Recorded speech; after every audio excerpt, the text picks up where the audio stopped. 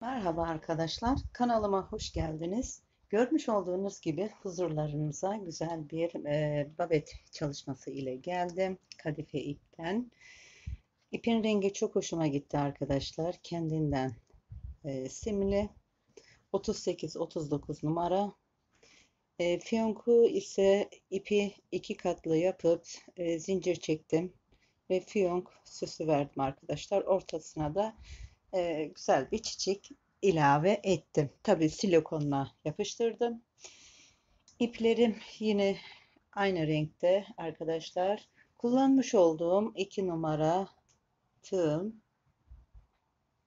Evet. Şimdi ya Allah ya Bismillah diyerek başlayalım arkadaşlar. Taban kısmına arkadaşlar hep ikişer defa battım. Bakın. Burun kısmında 3 defa battım. Sadece burun kısmında arkadaşlar 3 defa batmışım. 1, 2, 3. Diğer yanlar sağ ve sol köşedekiler taban ise yine ikişer ikişer battım. Dediğim gibi arkadaşlar sadece burun kısmında 3 defa bakmışım. Evet. Şimdi ya Allah ya Bismillah diyerek yavaş yavaş başlayalım arkadaşlar. Evet. Dediğim gibi altta da yazmıştım numarayı. Unutmayayım diye. 38 39 numara keçe taban üzerine arkadaşlar. Şimdi ipimi tığımla önce bir sabitliyorum bu ipe çok dikkat edin arkadaşlar. Yanlış yapıldı mıydı? Sökme çok sıkıntılı. Evet. ipimi sabitledim. Tekrar bir bakalım yanlışlık olmasın. Evet sadece burun kısmında 3 tane dolum yapmışım arkadaşlar. Ben e, keçe tabanı üzerine her zaman olduğu gibi arkadaşlar topu kısmından başlıyorum. Tabii bu modelden modele de değişiyor ama evet bu şekilde ipimi tığımın üzerine alarak ikişer ikişer her bir yuvaya batıyorum arkadaşlar. 38-39 numara için sizler 40 numaraya da yapabilirsiniz uygun. Çünkü ip kadife ip olduğu için esnek biraz rahat olur.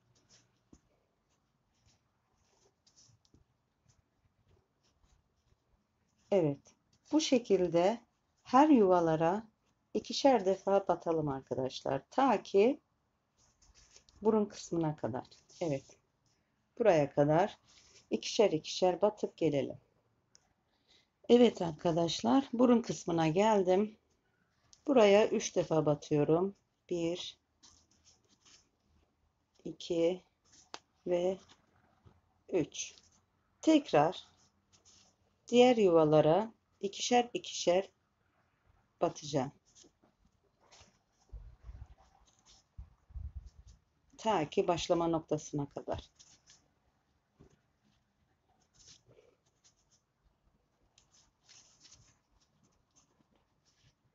Evet. Evet arkadaşlar. Başlama noktasına gelelim. Bitişe kadar yani. İkişer, ikişer doldurup gelelim. Evet arkadaşlar sıramızı tamamladık ve karşıya hemen geçiş yapıyorum. Kaydırma tekniğiyle. Bir, iki tane zincir çekiyorum ve yine aynı yere batıp trabzan yapıyorum. Her bir yuvalara batıp trabzan yapıyorum arkadaşlar. Boşluklara, aralara batıyorum. Zaten yuvalar kendini belli ediyor, görünüyor. Bakın her bir ilmek aralarına batıp birer trabzan yapıyorum. Bu sıramızdan sonra modelimizi lastik bölümünü kuracağız arkadaşlar. Zaten biliyorsunuzdur. Ee, bir sıra kesim yaptım ben bu modelde. Çünkü bir sıra kesim yeterli geliyor. Evet. Bu şekilde her bir il, ilmek aralarına birer tane trabzan yapalım arkadaşlar. Bakın. Bu şekilde. Evet arkadaşlar. Sıra sonumuza geldik. Hemen karşı tarafın tepesine batıyorum. Kaydırma tekniğiyle bağladım. Ve yine iki zincir çekiyorum. Modelimizi kurmaya başlıyoruz. Lastik modelimizi. Bakın hemen önündeki değil onun yanındaki trabzana batıp ön kısımdan aldım. İpimi tığımın üzerine doladım. Arka yuvadan tığımı batırdım. Tekrar yandan batırıp yine bir trabzan yap yapacağım. Yine ön kısımdan alıyorum. Bir trabzan ipimi tığıma doladım. Arka kısımdan bir trabzan alıyorum. Tekrar ipimi tığımın üzerine alıp ön şeritten alıp bir trabzan yaptım. Evet, baştan sona kadar bu şekilde modelimiz devam edecek arkadaşlar. Bir ön yuvadan, bir arka yuvadan trabzan alarak ilerleyeceğiz.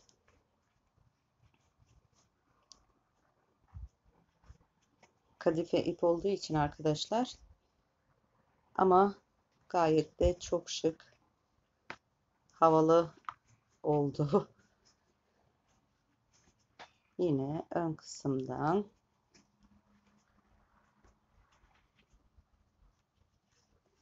e, kadife iple biraz e, kaba düşüyor ama arkadaşlar bakın gayet zarif bir şekilde oluyor.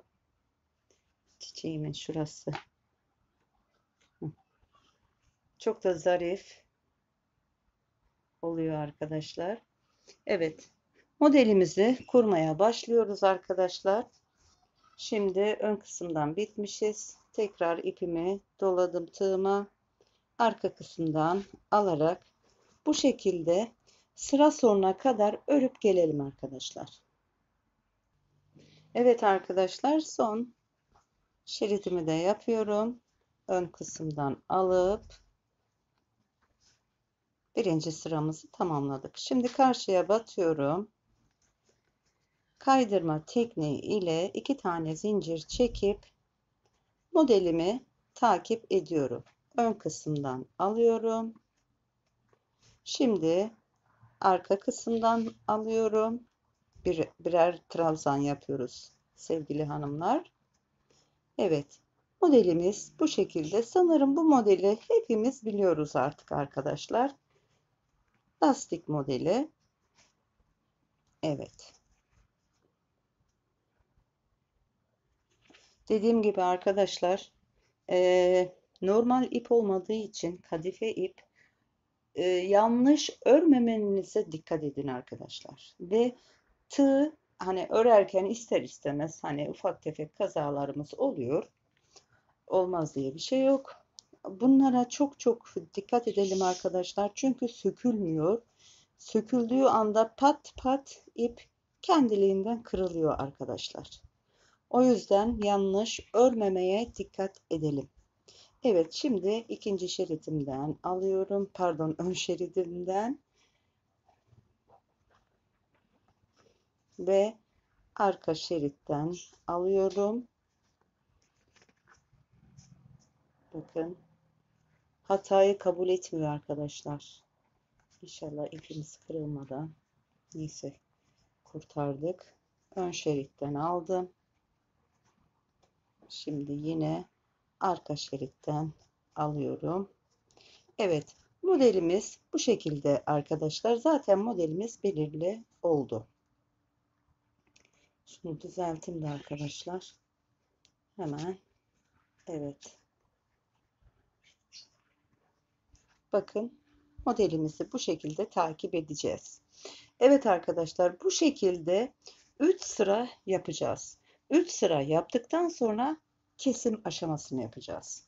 Evet bu şekilde git gel yaparak bakın şimdi bir ikinci sıramızı gidiyoruz. Gidip dönüp geleceğiz. Bağlantımızı yapacağız. İkinci sıramızı tamamlamış olacağız. Ve tekrar üçüncü sıramızı da bitirdiğimizde ta ki şu burun kısmına kadar örelim. Burun kısmını keseceğiz arkadaşlar. Evet bu şekilde 3 sıra örüp gelelim arkadaşlar. Evet arkadaşlar, üçüncü sıramızı da yaptık. Ee, işaret koyacağız şimdi. Evet, burun kısmını ayarladıktan sonra işaretimi kattım. Ee, işaret kattığımı saymıyorum. 1, 2, 3, 4, 5, 6 tane diş var arkadaşlar. Bu arada ipimin tamamı bu kadar kaldı. İnşallah yeter diyeceğim ama modelime sanırım yetmeyecek arkadaşlar. Yettiği yere kadar artık daha sonra ben e, aynı e, ipten kalmışsa gidip alacağım. Evet şimdi kesimi yapıyoruz arkadaşlar. Ön dişten aldım. Yanındaki dişten de aldım. İki dişi bir alıyorum. Trabzan şeklinde çıktı. Tekrar öndeki iki dişi bir alıyorum. Yine iki dişi bir alıyorum. Hani iki diş dediysem arkadaşlar iki tane şeritlerimizi ikişer ikişer alıyoruz. Evet. Şimdi e, buradan da oğlum geldi arkadaşlar. bir saniye arkadaşlar ben e, bir e, çengel bulmam lazım. Çengelimi alayım gelim hemen. Evet arkadaşlar kusura bakmayın bir çengel daha almayı unutmuşum yanıma. Şimdi ortayı da ayarladıktan sonra arkadaşlar şöyle bir sökelim. Ortamız görünsün. Evet. Ortayı saymadan 1, 2, 3, 4, 5, 6. Buraya da bir çengelli iğne ile yardımıyla işaretimizi koyalım. Evet. Bu e, soldaki işaretimize kadar hep ikişer ikişer alacağız arkadaşlar ilmeklerimizi. İki tane aldım. Trabzan şeklinde ördüm. Tekrar bu almış olduğum diğer taraftan da alıyorum. Alırken şu ipimizi biraz sıkı tutalım ki arkadaşlar şu aralarda boşluk oluşmasın. Evet. Şimdi tekrar iki şeritimizi bir alıp kestik. Bakalım kaç tane kesimimiz olmuş. 1 2 3 4 5 Evet hemen ipimizi takalım. 5 bakın işaretlediğimle birlikte ona aldım. Bir de onun yanındakini de aldım. Toplam 6 tane çift çift almış oluyoruz arkadaşlar şura aralıklı olacak biraz sıkı tutalım 1 2 Evet.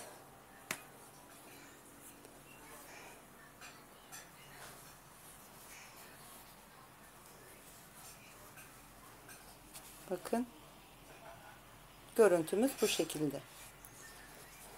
Ben ipimin e, bittiği yere kadar yani yettiği yere kadar öreceğim arkadaşlar. Arkadan ilmeğimi alarak modelime devam ediyorum. Ta ki sıra sonuna kadar. Evet bu sıramızı böyle yapacağız arkadaşlar bakın. Şu düğümde arkadaşlar sonra içeri alacağım. Çünkü ipim bittiği için ekleme yaptım ipime. Evet sıra sonuna kadar örüp gelelim arkadaşlar. Evet sevgili arkadaşlar patiğimizin ön kısmını tamamladık. Şimdi arka kısımda birleşimizi yapacağız. Ee, modelimizin son sırasını da gideceğiz. Ondan sonra kurdale yani fiyonk şeklinde olan nasıl yaptığımı sizlere tarif edeceğim efendim. Bağlantımızı yapıyoruz. Yine kaydırma tekniğiyle bir zincir çektim. Aradaki boş yuvalara batıyorum arkadaşlar. Tığımın üzerine ipimi almadan tek tek bakın her bir boşluk aralarına birer sık iğne gidiyorum. Gerçekten ipin rengi çok harika. Çok hoşuma gitmişti arkadaşlar. Dedim hani değişik. Bir de kendinden simli de olunca bayağı bir dikkatimi çekmişti ip. Geçen sene almıştım bu ipi. Hatta 7,5 TL'ye almıştım. Şimdi 9,5 ile 10,5 TL arası olmuş bu kadife ipler arkadaşlar. Evet. Bu, bu şekilde son sıramızı aralara batarak sık iğne gidiyoruz arkadaşlar.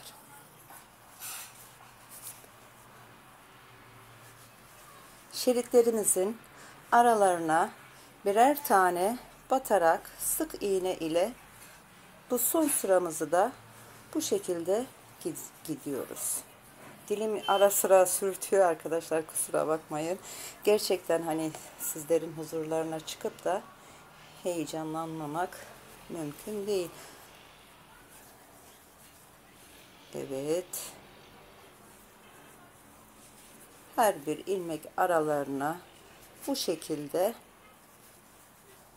sık iğne olarak gidiyorum arkadaşlar.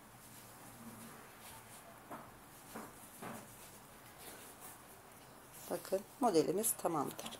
Şimdi arkadaşlar modelimizi e, bu şekilde sıra sonuna kadar gidip gelelim sık iğne olarak.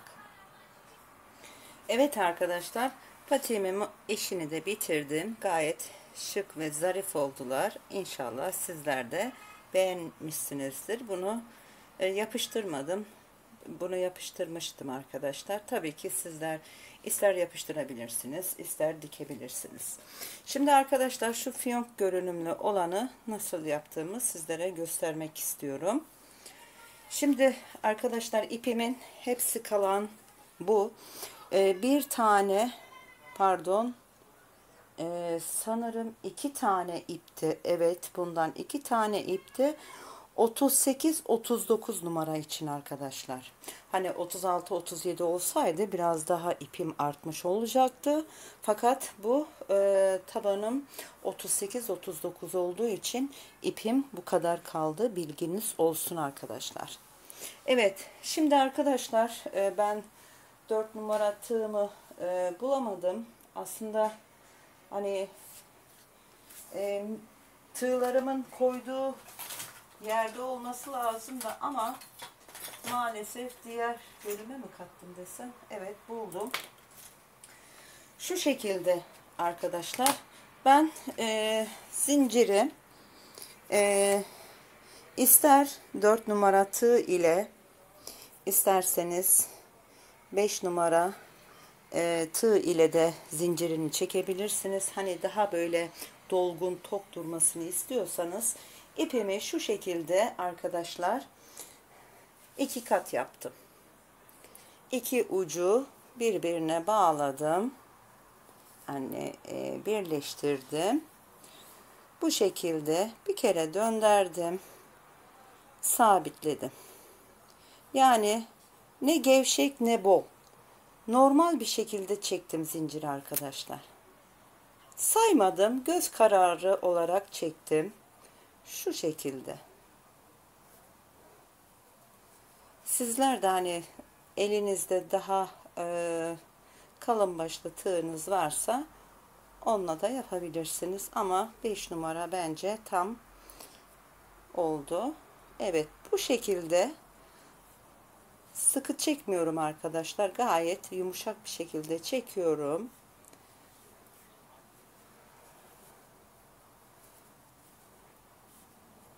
Yani e, normal bir e, fiyonk görüntüsü alacak derecede zincirleri çekiyorum. O yüzden hani zincirleri saymadım. Bu şekilde yumuşak olarak zinciri çektim. Evet. Diyelim ki bu kadar yeterli örnek veriyorum arkadaşlar. Şu iki ucu şöyle birleştirdim.